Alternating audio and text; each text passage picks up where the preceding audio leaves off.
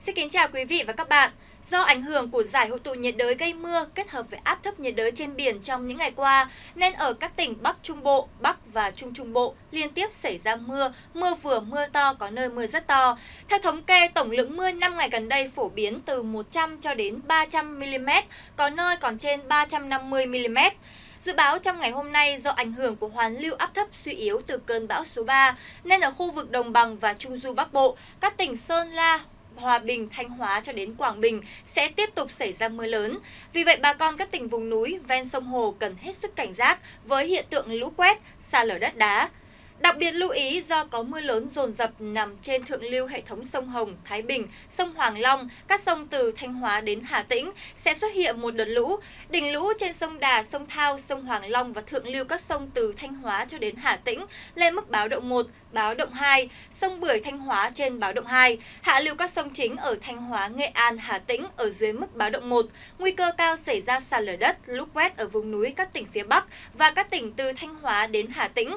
Cảnh báo cấp độ độ rủi ro thiên tai do lũ, lũ quét xa lở đất là cấp 2. Các tỉnh thành còn lại của Trung Bộ mưa ít hơn, chủ yếu mây nhiều trong buổi sáng và có mưa ở mức độ dài rác vào lúc chiều muộn. Nền nhiệt tại hầu khắp các tỉnh này đều không vượt quá mức 33 độ. Đi sâu vào khu vực phía Nam, tại các tỉnh Tây Nguyên và Nam Bộ, gió mùa Tây Nam vẫn hoạt động với cường độ mạnh, nên trong ngày hôm nay cũng như thời gian 2-3 ngày tới, khu vực vẫn duy trì mưa, nhiệt độ ít có biến động so với 24 giờ trước đó. Cụ thể trong ngày hôm nay tại Tây Nguyên, mức nhiệt cao nhất ngày phổ biến từ 28 cho đến 31 độ và từ 30 đến 33 độ ở tại Nam Bộ. Dự báo khoảng từ 21 tháng 7 khi không còn tác nhân nào hút gió Tây Nam gây mưa trên khu vực thì mưa sẽ giảm hẳn cả về diện và lượng, tiết trời có phần tạnh giáo hơn và thuận lợi hơn cho các hoạt động dân sinh. Tiếp theo mời quý vị và các bạn đến với những dự báo chi tiết cho các đô thị lớn trên cả nước. Đến với thủ đô Hà Nội, hôm nay sẽ tiếp tục duy trì trạng thái thời tiết nhiều mây và có mưa vừa, mưa to trong ngày kèm theo đó là gió giật mạnh. Lưu ý cường độ mưa lớn tập trung nhiều vào buổi sáng, vì vậy trước khi rời khỏi nhà, quý vị luôn nhớ mang theo các vật dụng che mưa. Do mưa với cường độ lớn trong thời gian ngắn nên không loại trừ khả năng sẽ xảy ra ngập úng ở các khu vực trũng thấp. Vì vậy quý vị nên lựa chọn những cung đường hợp lý để không bị ảnh hưởng đến lộ trình công việc trong buổi sáng. Dự báo nhiệt độ hôm nay vẫn duy trì ở mức thấp, phổ biến từ 26 cho đến 30 độ. Tại thành phố Việt Trì dự báo trong hôm nay và ngày mai mưa lớn cũng diễn ra do địa hình kết hợp giữa đồi núi xen lẫn đồng bằng nên nếu có lộ trình di chuyển lên đây, quý vị cần hết sức chú ý cẩn trọng, đặc biệt là khi di chuyển trên những cung đường đèo dốc hay những góc cua khuất. Biên nhiệt độ ngày đêm tại thành phố sẽ duy trì ở ngưỡng mát mẻ, dao động từ 25 cho đến 29 độ. Do chịu ảnh hưởng của vùng thời tiết xấu nên ở thành phố Vinh trong ngày hôm nay mưa tiếp tục duy trì với cường độ lớn. Cảnh báo cấp độ rủi ro thiên tai do lũ, lũ quét, sạt lở đất ở khu vực vùng núi là cấp 2. Bà con nơi đây cần hết sức cảnh giác.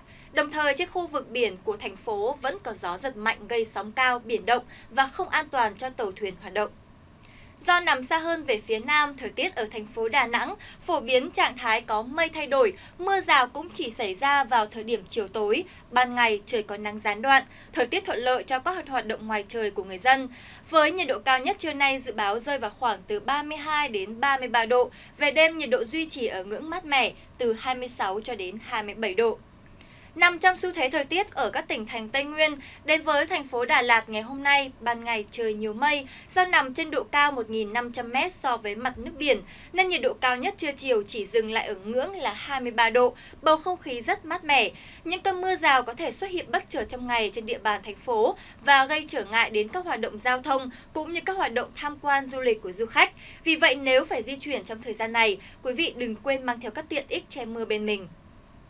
Ngày hôm nay mưa rông vẫn duy trì ở khu vực thành phố Hồ Chí Minh, nhưng thời gian mưa thường tập trung vào chiều tối, đêm và sáng. Ban ngày thời tiết duy trì tình trạng nhiều mây nhưng cũng có lúc giảm mây hửng nắng nhẹ, nên nhiệt độ cao nhất ngày sẽ dao động trong khoảng từ 30 đến 33 độ. Thời điểm xảy ra mưa nhiều cũng gần như sẽ trùng với thời điểm tam làm. Do vậy quý vị vẫn nên giảm bớt tốc độ khi lưu thông cũng như là quan sát kỹ tầm nhìn để tránh những va chạm đáng tiếc có thể xảy ra. Cảm ơn quý vị đã theo dõi bản tin thời tiết đô thị của chúng tôi. Xin kính chào và hẹn gặp lại trong các bản tin tiếp theo.